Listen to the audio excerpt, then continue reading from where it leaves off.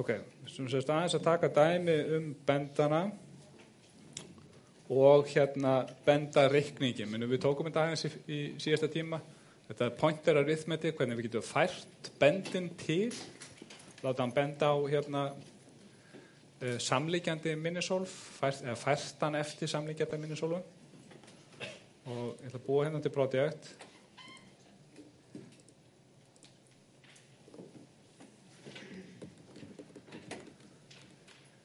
kalla þetta address value. Hörðu, já, hann síndist hann bara Jó, nú var hann komin í gang. Ætti að koma inn núna, já.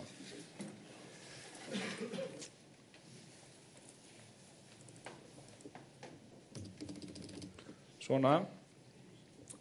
E, Það sem við þurfum hér er ég ætla að innmynda að nota typedef hérna. Ætla að segja sem sagt, þetta þekta tag, int stjarnar, ég ætla að kalla það int pointer. Það ekki eftir hérna, ég geti auðvitað að nota hvað sem er hér. Þetta er bara nafn sem ég býtir sjálfur, ég geti kallað þetta þess vegna x. En ef ég myndi kalla þetta x, það var auðvitað hálf svona meaningless, er það ekki? Þetta væri, myndi ekki segja mér neitt. Nú er ég hreinlega að segja það, bara ég á tag sem heitir int pointer og hvað er það? Jú, það er ekkit annað en int stjarnar. Svo ætla ég að lýsa hérna yfir einhverju fylki sem er kallað hérna var og það er af þessari hérna stærð og ég ætla að uppastilla það. Munið að þetta var svo kallar initialization listi. Ég get uppastill fylki í, með svona lista þar sem að listin er innan svona slaufisvega en hér er grænlega er ég að nota eitthvað max sem að hlýtur að vera hvað? einhver fasti þannig að skilgrinni hann til dæmis hérna const int max hann er þrýr, hefur gildið þrýr ok. E, og svo hér inn í aðalfórutinu þá ætla ég að vera með að lýsa yfir e, svona pointer sem er sem PTR sem er af tæginu int pointer.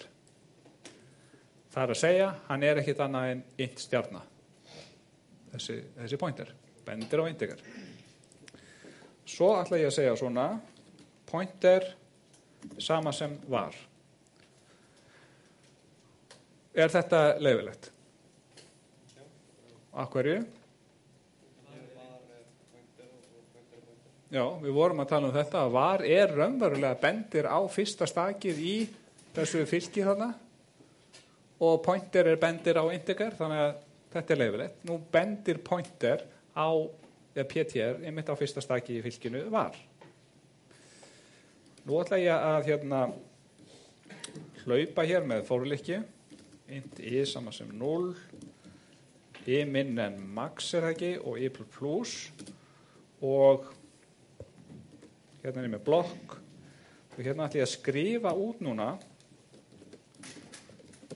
adressuna á var af í það er að segja svona það ekki?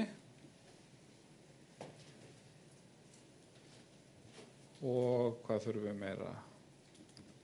Ég er kannski bara svona. Já. Sjáu hvað ég er að gera þannig ég ætla að skrifa út þess að texta address of var af svo kemur hotklófi opnast svo ætla ég að skrifa í það hérna, gildið loka svo hotklófanum uh, þannig ég muni fá hérna adress að var af nulli adress að var af einum, adress að var af tveimur. En það sem ég ætla að skrifa út hérna er svona.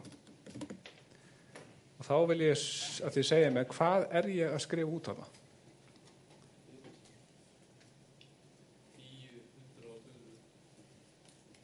Er það ljóst? Skrifar ekki alltaf á tíu bara?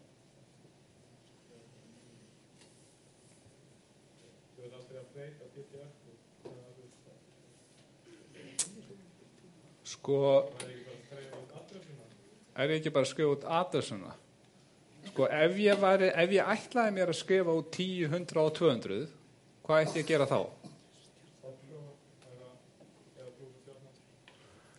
Já, spurningin er eiginlega, get ég nota þennan pointer til þess að skrifa át gildin 10, 20 og, 3, og 10, 100 og 200?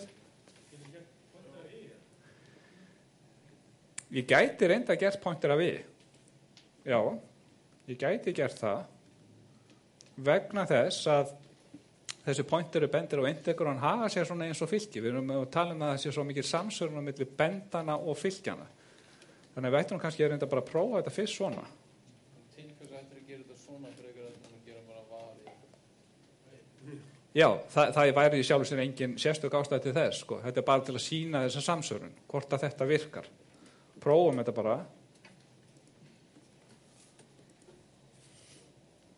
Já, það skrifa, þetta, nú er náttúrulega textin ekki réttur sko. Ég ætlaði nefnilega ekki að skrifa út gildin sjálf. Ég ætlaði að skrifa adressuna sem að pointerinn er að benda á. En allavega, þetta gengur ef við ætlaðum okkur að skrifa gildin.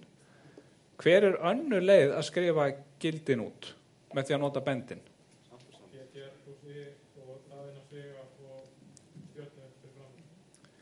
PTR pluss I svega I, það innan sviga og stjörnu fyrir framann. Hvað er í gangi hér? Hvað kallaðist þetta? Hvað kallaðist þessi rítáttur?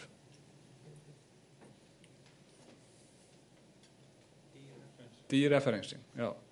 Sest, ef ég er með bendin sem í þessu tilvíki er hérna PTR þá get ég fyrsta lagi lagt eitthvað við hann og það er pointer arithmetic og í fyrsta skiptir er ég að leggja 0 við hann þannig að þá stendur bara PTR hérna en það er adressan sjálf en til að komast í gildið sem að gemt er í þeirri adressu sem bendirinn bendir á þá nota ég stjörnu.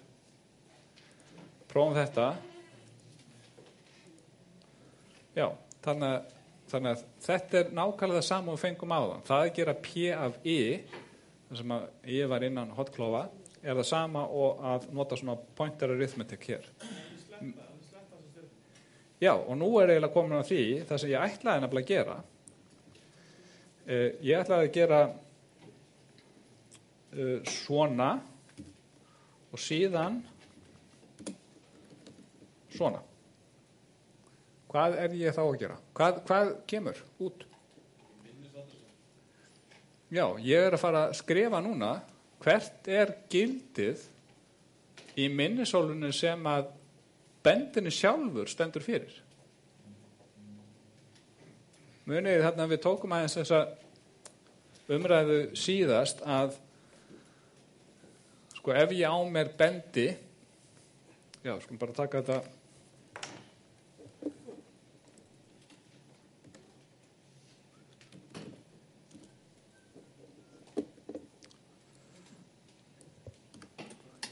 Ok, ef ég á mig hérna bendi uh, þá getur hann bent á einhverja svona eitthvað minnishólf uh, sem að við getum sagt til dæmis að eins og við vorum að tala um síðast þetta væri númer 1036 og inn í þessu minnishólfi ef við tekna þetta svona þá væri til dæmis talan 7 þannig að bendirinn er að benda á minnishól númer 1036 og það getur verið að gefum okkur til dæmis að breyta sem stendur fyrir þetta minnisól sem geymir töluna 7, hún heiti bara X.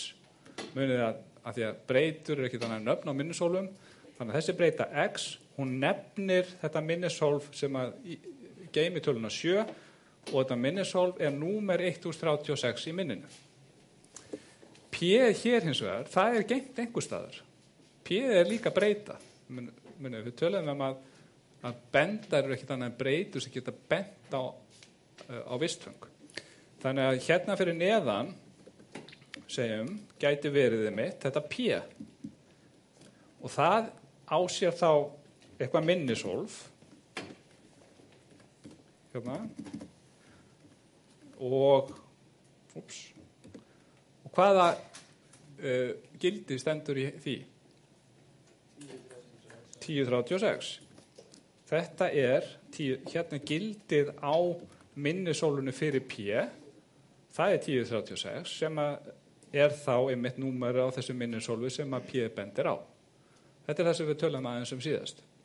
Þannig að það sem ég vildi mitt gera hér er að prenta út uh, adressuna sjálfa. Hvaða adressa er þarna bakvið? Prófum það. Þýði þetta. Sjáu núna fæ ég nefnilega einhver adressu. Adress of var 0 er einhver hérna, já hvað, hvað svona tala er þetta? Þetta er hex, er það ekki? Er það ekki einhver hexa, hexadesimal tala? Uh, sjáu þið eitthvað út úr þessum tölum? Þær er í röð, eru þær í algjör, já, það eru fjóru bætum eftir hver annari, að hverju? Því að einn tekur upp þarna 32 bita sem er 4 bæt. Já, að því að við erum einmitt að benda á, þetta er integrarbendir, þannig að við erum að benda á svæði sem tekur fjögur bæti. Þannig að þarna getum við, sjáum við einmitt að bendinni sjálfur er ekkert annað heldur en breyta sem að geymir vistfang. Við erum að skrifa út vistfangi hér, það ekki? Uh,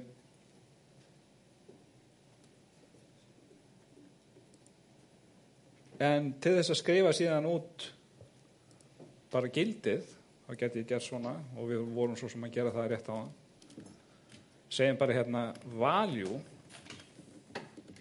of var. Og þá þarf ég í staðins að skrifa út bendin sjálfan. Þá skrifa ég bara, nota ég bara dýraferðising til dæmis. Dýraferðising þetta segir mér þá Þetta er bara til þess að benda á gildi samt inn í hálfinu. Já, þetta er þess er að, að sækja, sko ef að bendirinn bendir á eitthvað minnishólf, þá getur satt stjarna á bendin til þess að sækja gildið sem er í því minnishólu sem bendirinn bendir á.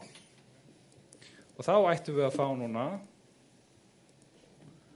address of variable 0 er þessi hexadecimal, en value of var 0 er 10, og svo aftur þetta sem við sáum áðan með hexadecimal og value er 100 í í, í hérna, minnisólfi 1 og síðan valjú er 200 í minnisólfi 2. Það er búin að búa til valjúið með því að setja gildið þarna fram fram. Já, hérna er ég búin að uppastilla hérna, fylgið og þess vegna skrifast ég mitt út 10, 100 og 200. Er það ekki? Þannig og þetta náttúrulega segir okkur líka það að maður verður að vera mjög passasamur með það að rugglast ekki á að nota sko bendin sjálfan versus gildið uh, á því hólfi sem að bendin bendir á. Því, sko, það, maður hefur sjálfnast áhuga á þessu hér, er það ekki? Það er sjálfnast áhuga á vistfanginu sjálfu. Maður hefur langflestum tilvíkum áhuga á því sem að uh, á gildinu í hólfunum sem að bendurinn bendir á. Og þá verður maður að nota dýreferensing. Ok, er þetta alveg, skýrt? Ok.